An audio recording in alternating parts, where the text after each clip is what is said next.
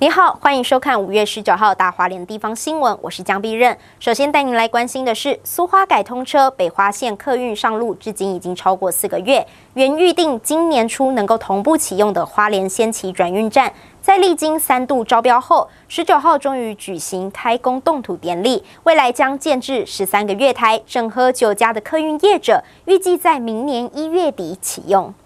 花莲先期转运站新建计划由中央核定补助七千万元，历经三度招标后，终于在今年二月底成功脱标。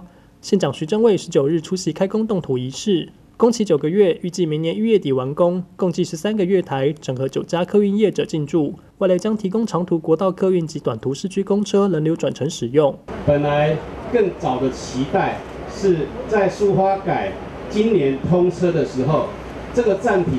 就已经完成了哈，做无缝的接轨、无缝的衔接哈。但是有很多都市计划的骑程哈，有很多这个工程，比如说包含这这个工程也有一度流标哈等等的这个因素哈，呃，没有让让人家那么满意。可是没关系，今天非常荣幸哈，可以来参加这个算是动工的典礼。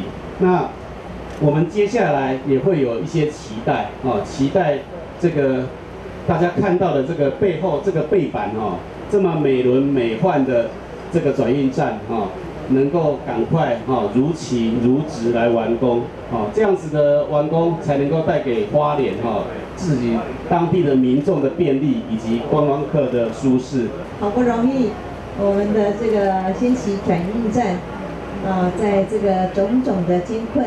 之后，我们终于在今天能够来动土，能够来新建，在整个无论是我们的高速公路，呃，不是我们的国道，乃至于我们的公路以及我们的室内的交通，把它统整起来，在我们的先行转运站。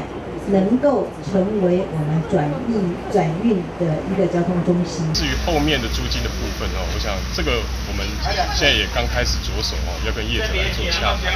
我想跟其他的这个其他地方的这个转运站，好，那还有目前业者既有它本身也是跟这个私人承租的嘛，哦，要做一个租金。我想这个后后面我们都会纳入考虑。好，那是不是因为疫情所做的这个影响？哈，那影响业者这样的多少的情况？我想我们都会来做做洽谈。目前正正准备要在洽谈当中。先期转运站基地东临国联一路的石头公园，步行约一分钟可达花莲火车站前。外观设计是一层楼的建筑，基地面积一千四百九十平，室内空间两百平，设有空调、雨遮及无障碍空间。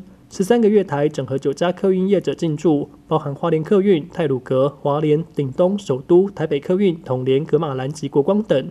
记者蒋邦彦，华联市报道。